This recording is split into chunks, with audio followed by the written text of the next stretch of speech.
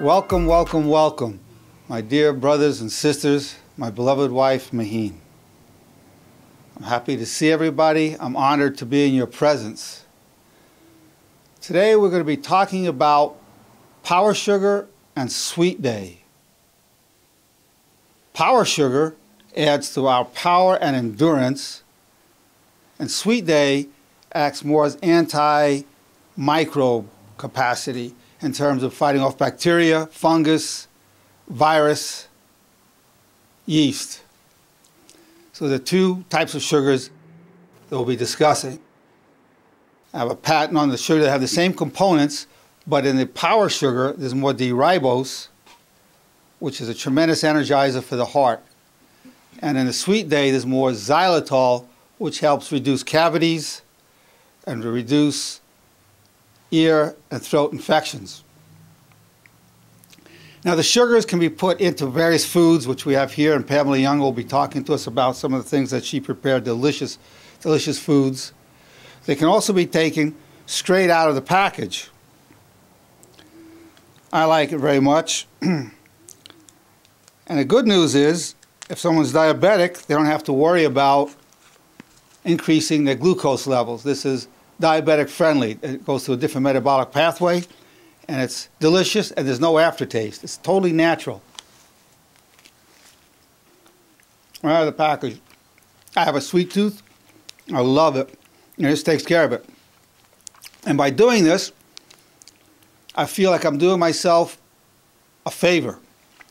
I'm not only satisfying my sweet tooth, but I'm contributing towards better oral health in terms of reducing my cavities and reducing the likelihood of ear and throat infections. So I have a good feeling when I'm taking this. So that's well, this was the power sugar, which also has the xylitol in it, which has those powers over the microbes. Well, then we have the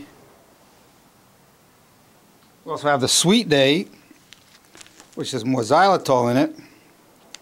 The sweet day with the more xylitol again has these tremendous a tremendous taste and the power to prevent infections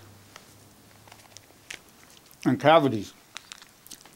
So what feeling should you have when you're eating this? The feeling you have is good. You feel good. You feel energized just by the sweetness.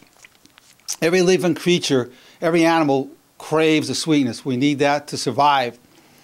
But this will not give an insulin surge, will not raise the glucose level, the fasting glucose level, and energizes the heart.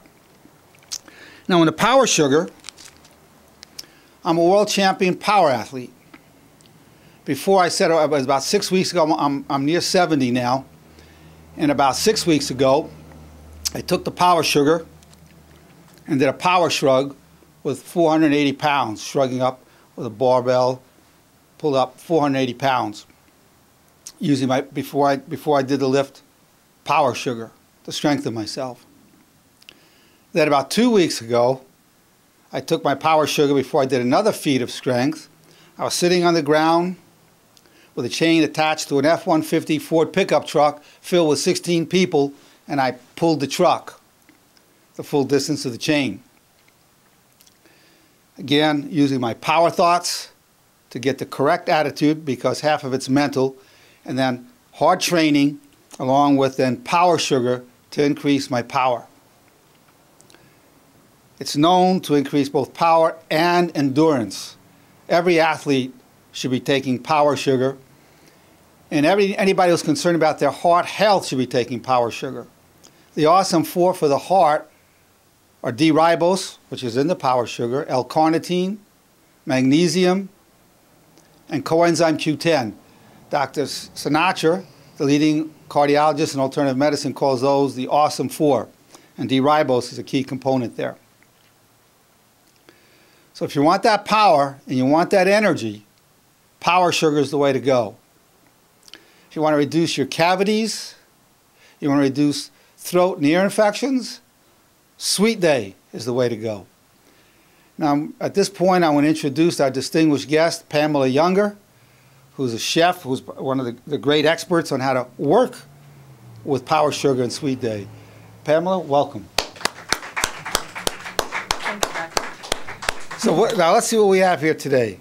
I have to point out something. I'm very Yeah. excited. Yeah. I don't know if you've noticed or not, but early on when we were working with the uh, sugars and our baking and this and that, that I wasn't able to achieve caramelization. If you remember, Right. it just it wouldn't take the temperature. I want you guys to notice we reached caramelization even though it was slow in the oven. We were able to achieve that on these baked goods, so I'm very excited about that.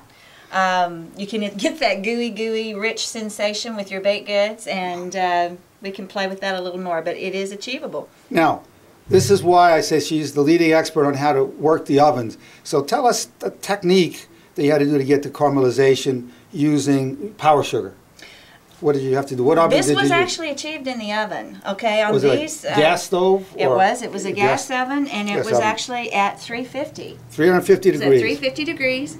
Uh, we did the pastry shells for um, basically an. Let's say just miniature apple pies. It's like an apple Danish. Uh, we did the pastries, and then we filled it with the uh, apples and cinnamon, and the um, the um, power sugar combination with the cinnamon and the uh. Um, we also had just a little bit of uh, natural, all natural orange juice and uh, sauteed that a little bit, put that in the uh, shells, topped it with um, oats, a combination of oats, cinnamon, power sugar, and uh, just a tad of uh, cornstarch. And uh, instead of using butter, we used coconut oil. And that was the crumb topping we sprinkled over it. So that's how we achieved those com- those components is exactly how we achieved the uh, caramelization stage because it was a slow temperature process. Now, Pamela has learned how to work the ovens. She's used confectionery ovens, talked about electric stoves, and the gas oven. And you found the gas oven was the best to work with. for you, Yes. Is that correct? It is. Yeah. It is. Now I'm gonna. Please, have I'm gonna take See a taste here. gooey, gooey, So, so the gooey. So I'm gonna take a bite of this. So it has. Tell me, uh, is, is no there dairy cream? There's any that. cream in there? Nope. No, nothing. Nope. Okay. There's fruit, power sugar, Mm. oats, coconut oil, cinnamon, a little bit of uh, natural squoze orange juice, Texture is great. flour. Is it chewy? It's chewy. It's Gooey? just just around just around enough for gooiness. Good. Mmm. But the texture of all the components in it is excellent. Good. Mm. That was very exciting. To Wow, see. You have some apples in there. Apples are in It's there. like an apple pie. Mm-hmm. That's superb. It is. Absolutely superb. And then here uh, we did a custard where we were able to achieve the satin finish on the custard. We topped it off with the omega-3 uh, blend of nuts and the uh, dark chocolate, uh, as well as with the uh, power sugar, and made like a crumb to go on the top of that. And um, this is an almond custard. An so almond custard. non-dairy. Non-dairy. Mm-hmm. So you have chocolate, and the chocolate's just The is that cocoa. Mhm. it's cocoa. Dark Because. I like the cocoa a lot. Then you have the uh, then was the baker's chocolate was the other one you've That's used. correct. Pam has done a great job in the past. We had protein uh, candies, uh, which, were, which had the protein in it, and the power sugar. So we call them pro- protein power bars. Oh, this is looks great. Mhm. It should be really Mm. rich. Wow. wow. Everything goes together perfectly. Your chocolate, the, the almond, was that almond paste? No, that's almond. Uh, that was almond milk. Mmm. Almond Mm. milk. That is, what a treat.